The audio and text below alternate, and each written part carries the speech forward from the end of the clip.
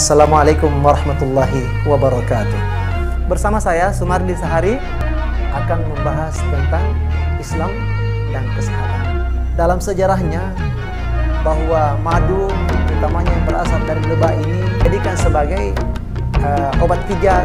Jadi kalau orang capek-capek ya diurut dengan menggunakan minyak zaitun. Rasulullah SAW menyebutkan di dalam hadis ini yang pertama adalah meminum madu.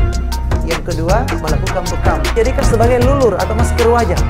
Untuk mempercantik wajah orang-orang terdahulu para gadis-gadis ya demikian pula para putri-putri raja bahkan para ratu-ratu memanfaatkan minyak zaitun untuk kecantikan bagaimana cara mengetahui uh, keaslian madu?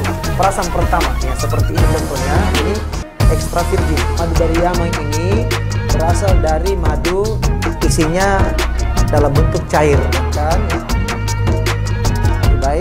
akan mengurai juga memperbaiki sistem pencernaan kita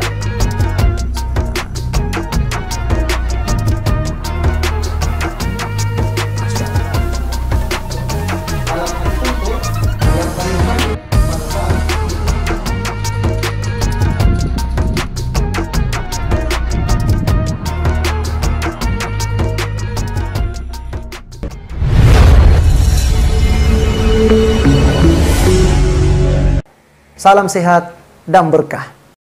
Ya saya sudah uh, subscribe Sumarti Sahari uh, dan saya sudah lihat beberapa videonya.